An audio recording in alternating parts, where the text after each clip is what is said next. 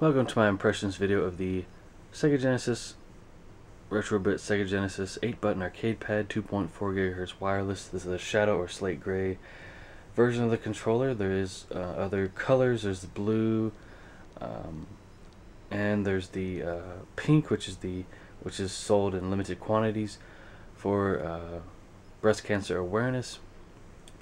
But this controller is compatible with Sega Genesis, the Sega Genesis Mini, PC, Mac, PS3, and Switch. I have used the controller with my original Model 1 Sega Genesis. Actually did some gameplay footage with me playing it, and I didn't show my button presses, but really enjoyed using the controller. It feels a lot like an original controller, if not better. I'm not sure because I have not played with an original controller since mm, 91 or 92, so it's been been some time. Here's what's on the back of the box. Great thing about this is it's wireless. That's great for retro devices. Um, so here's the controller. Beautiful piece of work here. Love it. Um, so you have your regular buttons here. Great uh, D-pad.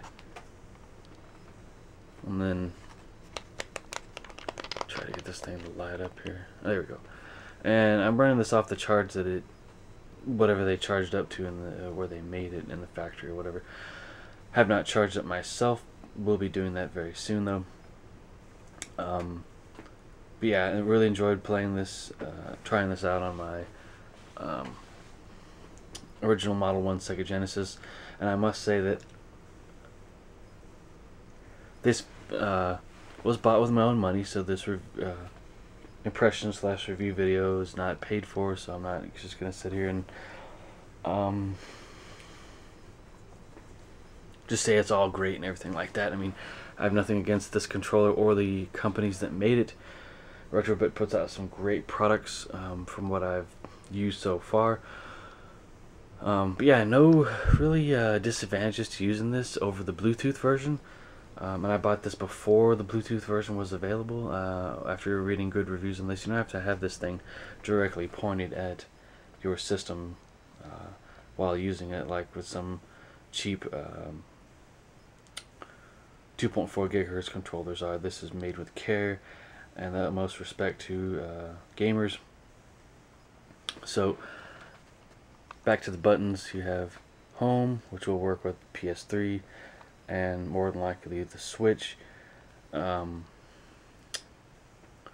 what do we have here? Oh, select. So I'm thinking that works with uh, the Genesis Mini and uh, other modern systems, so to speak. So you can see the inner workings. I'm sorry, workings of the controller. I'm sorry, it's late. Um, and I noticed on the back, here you have that 500 ma or milliamp our battery. You have the uh, Sega and Retrobit logos there at the bottom of the controller with CE and FC uh, certifications or whatever. Made in China, of course.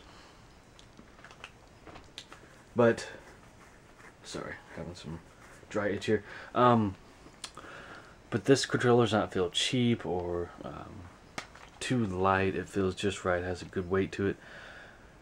Um, so if you want to see that gameplay footage of me using this controller, I will uh, put those in boxes at the end of the video. Um, and this controller won't break the bank. It doesn't cost, you know, 50 bucks or uh, above that. It is below $50 depending on where you buy it and who you buy it from. Um, and depending on where you live, because shipping could bump that the cost of this item up quite a bit. But yeah, then you also, I'm sorry, back to buttons, you also have your shoulder buttons, which are going to work with your modern games because the original controller just didn't uh, have these uh, buttons. It did have, the, the, original controller did have a mode button though, however, um, to switch the um, button inputs. Um, but yeah, so you get your adapters there, or yeah, your USB and Retrobit works exactly as intended. I think there's actually a button on here which uh, helps you pair the controller to the receiver, and this can only be paired to one receiver at a time. I was told that, uh, or read a review that said that. And these can be bought separately, um, as well as other um, receivers for other uh, uh, companies' controllers on like Stone Age Gamer. I noticed. So if you lose one of these, or it breaks, or something, or you step on it, or whatever, whatever happens, you can always replace it easily. These are not cheap though; they're they're, pricey. So if you get one of these with like a package deal like this, try and hang on to it. Try to take care of it. Um, love this box though. it's blue and it says "I love Ira" on it.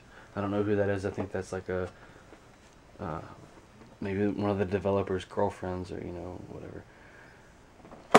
Here's the back of the box. Excellent controller. I cannot recommend this enough. Gotta love it.